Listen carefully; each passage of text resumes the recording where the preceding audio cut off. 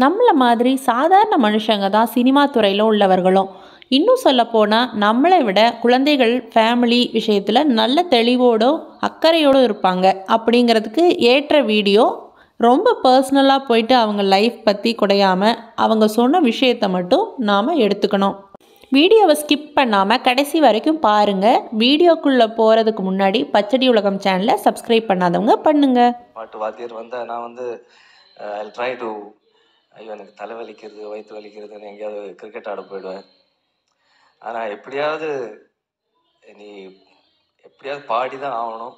You must learn music சொல்லி வற்புறுத்தி கற்று வச்சவங்க அம்மா தான் இதே மாதிரி தான் எல்லார் வீட்லேயும் அம்மா அக்கா அண்ணன் தம்பி அப்பா கணவன் மனைவின்னு ஏதோ ஒரு ரிலேஷன் நம்ம முதுகலை தட்டி உன்னால் முடியும். இதை நீ செய் நல்ல ஃப்யூச்சர் உனக்காக காத்துக்கிட்டு இருக்குன்னு நம்ம பின்னாடி பக்கபலமாக இருப்பாங்க. அப்படித்தான் உன்னிகிருஷ்ணன் சார் வாழ்க்கையிலையும் அவங்க அம்மா முக்கிய பங்கு வகிச்சிருக்காங்க. டிசைட் பண்ணி ஒரு நாலு ஃப்ரெண்ட்ஸை வந்துட்டு வீட்டுக்கு சாப்பிட கூட்டிட்டு வந்துருக்காங்க அம்மா இன்னைக்கு நாலு பேர் சாப்பிட வந்திருக்காங்க. நான் குக் பண்ணல இல்லை ஆயிடுத்து ஒரு தடையா யாரையா வெளியில அமைச்சிருக்கலாம் கிடையவே கிடையாது. என்னமோ அதுலயே ஒரு அட்ஜஸ்ட்மெண்ட் சாம்பார் ரசம் ஆயிடும் தோசை வந்து நீர் தோசை ஆயிடும் எதையோ அட்ஜஸ்ட் பண்ணி எல்லாரும் சாப்பிட்டு போவா. And the converse is true அம்மாக்களினுடைய tactics அவங்க கூடவே பிரயாணம் பண்ணிட்டு போனால் நமக்கு தெரியாது. யாராவது சொல்லும்போது நிறைய விஷயங்கள் புரிய வரும். அப்படித்தான் mister TT Rangarajan spiritual leader சொல்லும்போது நிறைய விஷயங்கள் அம்மாவின் மூளை எவ்வளவு தூரம் வேலை செய்கிறது அம்மாவினுடைய எக்ஸ்பீரியன்ஸை எக்ஸ்பீரியன்ஸான ஆளுங்கிட்ட கேட்கும்போது சுவாரஸ்யமாக இருக்குது தூங்கிட்டேன்.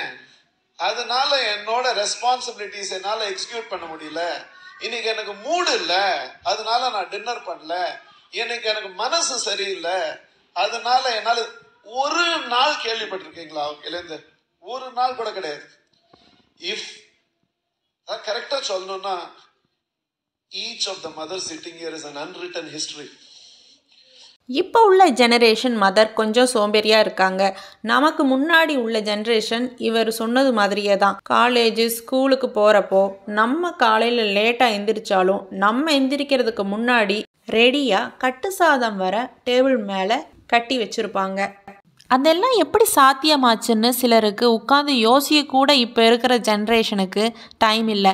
பிஸி பிஸின்னு சொல்லிட்டு ஃபோன் நோண்டிக்கிட்டு கூட உள்ளவங்க கூடயே பேசாமல் தனிமை விரும்பியாக வாழ்கிறாங்க சின்ன குழந்தைய தூக்கி கொஞ்சும் போது அக்கள் அக்கள்ல சின்னதா promise of growth hair growth தெரியும்.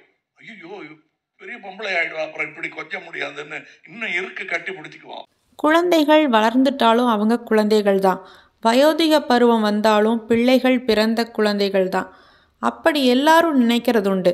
அது இயல்பு. அவங்க வளர வளர கொஞ்ச முடியாது. அட கொஞ்சறத விடுங்க. சிலதை பேசவே முடியாது. சின்ன வயசில் குழந்தைய குஞ்சுமணி அப்படின்னு கொஞ்சி இருப்போம். கல்யாணம் ஆன பிறகு பையனை அம்மா அப்படி கூப்பிட்டா கட்டின மனைவி ரியாக்ஷன் எப்படி இருக்கும்னு நீங்களே ஹார்ட் ஸ்க்ரீனில் பார்த்துக்கோங்க.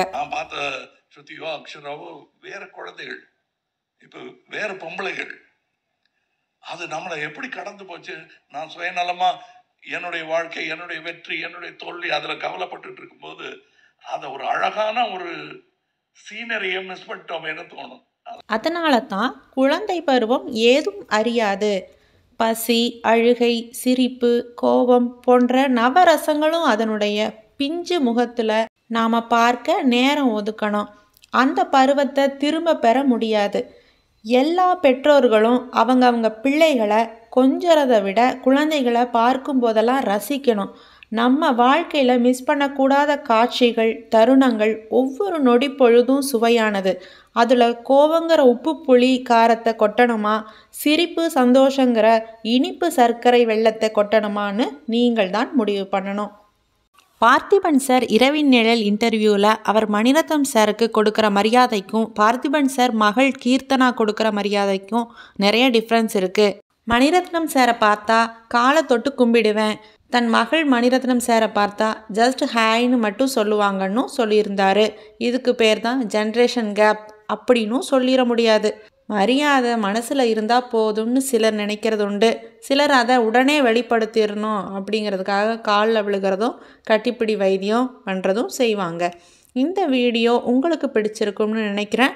மறக்காமல் வீடியோவை லைக் பண்ணிவிட்டு சேனலை சப்ஸ்கிரைப் பண்ணி பக்கத்தில் உள்ள பெல் பட்டனையும் கிளிக் பண்ணுங்கள் நன்றி வணக்கம்.